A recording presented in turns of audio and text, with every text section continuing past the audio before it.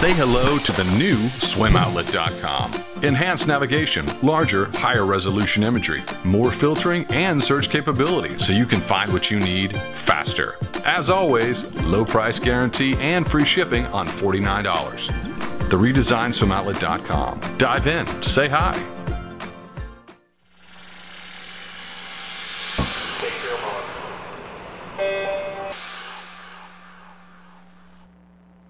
This is the Morning Swim Show for Friday, May 9th, 2014. I'm your host, Jeff Commings. Joining me in a few seconds in the Finis Monitor will be Shannon Vreeland.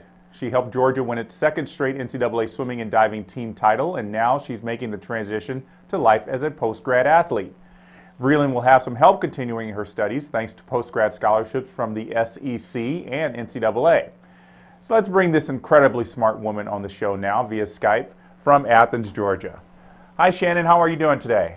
Great. How are you? I'm doing great. Uh, is the uh, semester almost over for you? Yeah, we actually finals ended on Tuesday, so graduation's on Friday for those that are graduating. So I'm excited for that. Well, congratulations. Is it does it kind of feel a little surreal that your uh, college life is ending? It Undergrad. I, I- guess, part of it. Well, I'm graduating in December, so oh, okay. I have a little bit of time left. But everybody that I've been here with for four years, a lot of them are starting to graduate, and it's kind of weird thinking about the people that aren't going to be here next semester because it's not something I've had to really think about. Yeah. Well, you got not one but two post-grad scholarships from the Southeastern Conference and the NCAA. Is there like an application process for these? Tell us how you get those. Um, for the SEC one, your school, each SEC school nominates one male and one female from their entire athletics department. It just so happened that this year both nominees for Georgia were swimmers, so that was pretty exciting. Um, the other one was Andrew Gemmell for our school, and then all of I guess there's like a representative from each school, and they all get together, and your school is not allowed to vote for the athlete like from that school but then they get together and they discuss and they vote um, for who they think should be the scholar athlete of the year. And there is like an application process. You fill out kind of like your leadership experience and um, any sort of academic awards that they don't know about, and like list off your swimming awards or athletic awards um, in order of importance to you um, for that process. And then it, it, it's really up to them for the voting. And then I don't really know how the SEC one works. That's another one you get nominated by somebody at the school and then you fill out another application for that. But that one was way less intensive, I feel like. Well, as if you don't have enough to do, I'm sure all those applications were really intense, but you probably were, it was probably harder than doing actual schoolwork because, I mean, these are really important scholarships and you want to make sure you get the right responses that these people want. Yeah, I definitely took a good amount of time, like meeting with the professors that were writing the letters of recommendation for it, and they wanted to know like what exactly my plans were for after school because there was a statement that you had to make about what your postgraduate plans were, and so they wanted to talk to me about that before they got into writing the letter of rec. So that was, I mean, it was good. I got to know a couple professors a little bit better. So Well, just as impressive, I think, is getting the SEC Female Scholar Athlete of the Year award. That is impressive. That's not just for swimming, that's for all sports. So, how does it feel to be honored as the best female scholar athlete in the whole conference? I mean, just reading the bios um, before they announced the winner was, I mean, I just felt honored to be among those athletes and knowing some of the incredible student athletes that we have here at Georgia. I was not, I was honored just to be our nom, our like nominee, and so to win the overall thing is just it's super humbling and really, I mean, I'm just happy to represent Georgia through all that. Um, I don't know. I've had so much support here from like the support staff, from different professors. One of the professors that wrote my letter of recommendation sat down with me, I think as early as freshman year, to just kind of talk about the direction I wanted to take school and my majors and how to best manage that with sports and everything. And I just, I think the culture here is so great at um, helping you to succeed. I like, I definitely couldn't have done it anywhere else. And then there was that other little thing of helping Georgia win the NCAA team title. Uh, how did winning this year compare to winning last year? They were both totally different. like last year was awesome because my freshman year and my sophomore year we'd come in second, and so we all just we wanted it so bad because. I, you know, you'd been like, we'd been so close twice, and then to just get it was incredible. Um, this year was kind of this year was really awesome, and I think it means something a little bit more when you're a senior because you're helping to lead the team a little bit more, like just that much more being a senior. And these are girls you've watched develop. You've been with the girls for four years, you know, and it's just kind of incredible. And also something kind of special this year. I feel like for the first year that I've been here, we kind of came in as like it was unexpected that we would do that by the end of the season. Um, I think every year we go in being somewhat of a favorite, you know, like I know last year everybody said that that was our meet to lose. Um, and then this year, kind of, it, it wasn't as much at the beginning of the year. And then SECs, everybody just stepped up. And I think it was great to see a lot of girls stepping up in places that they didn't know they could. Um, and I think that spoke to just the drive the whole team had over the year to, to prove some people wrong and really get out there and try to try to win it back to back.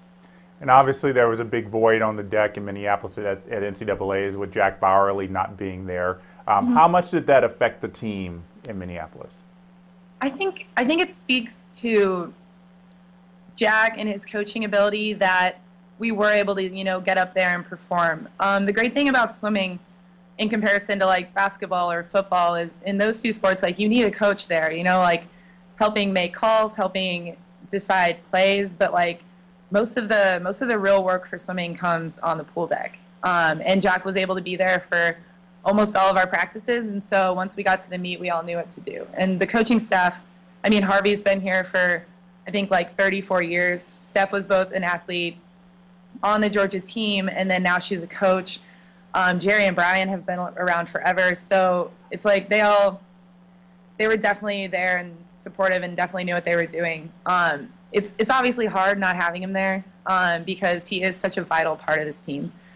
But so it was like a unique experience, but I think it really spoke to how well he coached us during the year that we, we were able to get out there and have the best meet I've been a part of. And it was great seeing the uh, photo on the cover of the May issue of Swimming World magazine where all the girls are jumping into the pool. Mm-hmm. Um, I have personally never been part of an NCAA championship team, but I would imagine that is probably the best moment when you all are just getting able to jump in, celebrate a little bit, sing the team fight song and all that. What's what's the what was that experience like knowing that was going to be your last jump into the pool? I mean, it was the three seniors kind of all held hands, um, and we were like, "This is the last time we get to do this." Um, and it is. It's so. It's really weird, and it's it's a great way to end it. Like I, I mean, obviously I couldn't have asked for a better way to end that meet. It was crazy. I was up there for the last relay with another senior, and we were just like, this is probably the last race we're gonna like ever get to swim together. And it was just so weird because we'd been on so many relays together, we'd raced each other so many times, and just knowing that like every little thing was becoming like the last thing you were gonna do. It's it's hard, but like I wouldn't have changed these last four years. So it's not like I I wish I had time left because these I I couldn't have asked for a better four years. Absolutely, you've done a lot in those four years at Georgia. Now you're you're on the other side as a post grad, so now you could say now this is the first time I'm doing this or that. Um, how's the past month and a half been like, knowing that you're um, are now a post grad? It's interesting. Um, I think I've been very focused on school, um, at least wrapping it up in this past couple weeks but it doesn't it doesn't really feel that much different beyond knowing that like I guess when there is a practice I'm not necessarily required to be there. But I think that's that's what kind of makes it hard for some people but I mean it's the same team the same people. Um, I love being there. I'm still going to stay here this summer um, and train for the most part so hopefully well, it won't feel too different. Yeah. I think it'll be weird next year like having freshmen come in and I'll still be training, but I won't necessarily be part of the team, and I think that'll be kind of a unique experience. And especially not being part of the dual meets, that'll probably be real. Yeah, yeah, I love dual meets. Well, I, you know, another great thing about being a post grad is now you get to finally earn some money for your swimming. Um, are you going to any Grand Prix meets to start earning some some cash? Um, I'll be at Charlotte, and I will be at Santa Clara for sure. Um, I don't know if there are any other ones. Nope, but I'm two. definitely going to those two. And I guess I'll try to hit some other meets if I can. Yeah, but yeah, that's interesting. I'm not necessarily the best in-season swimmer, so we'll see how that goes. Well, you make you make international teams this summer. You make Pan Pacs and you win medals, and you can get to earn money. So you can start looking that far ahead. yeah. Um, well, speaking of um, international swimming. You surprised us, or at least me in particular, last last year when you qualified for the World Championship team in the 100 freestyle. Uh, what's going to be the big surprise this year? Are you going to go further down into the 50? Are you going up to the 800? What's what's the plan for this year? Um, I'll probably swim definitely the same two events, the 100 and 200 free. And then, I mean, I try the 400 every year. There's there's something about it. I feel like I must have some sort of mental block because I love the 500 short course, but the 400 has never been something that's really really clicked for me. Um, so maybe maybe I'll finally have my good race in that. That would be fantastic. Um, I guess not the 50, the 100 even. Um, I think I was seventh at the 50 um, at trials because I just that top end speed is really tough for me. So I don't know. well, you made it work. You got second place. I mean, you ran everybody down. So yeah. stay with what works, I'd say.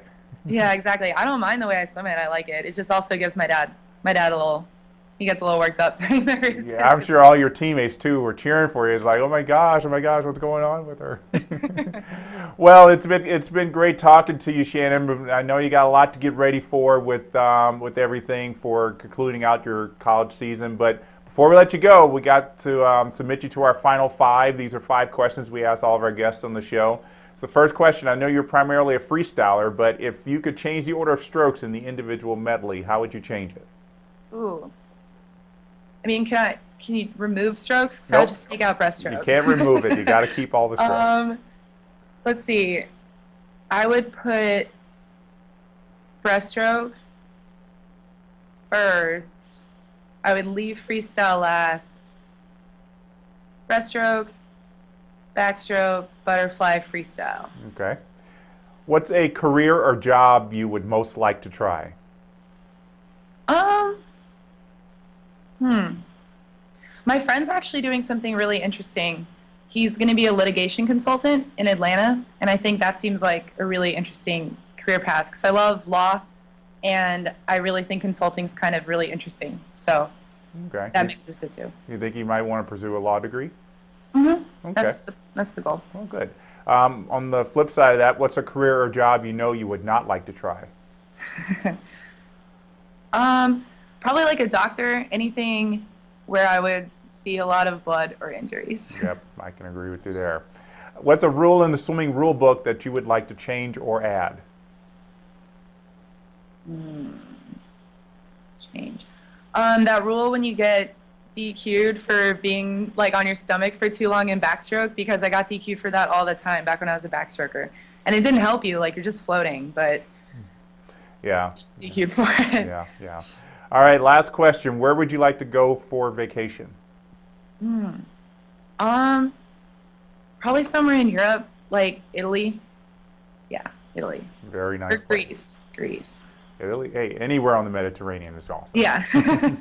well, hopefully you get to go there soon, Shannon. Thanks so much for joining us. Congratulations on everything um, you've accomplished in the past uh, four years. We're looking forward to at least two more leading up to uh, 2016. Thank you. All right. And thanks to you as well for joining us for today's edition of the Morning Swim Show. Be sure to be a part of Swimming World's followers on Twitter and Facebook and keep track of the latest aquatic sports news at swimmingworld.com. I'm Jeff Commings. Thanks for watching.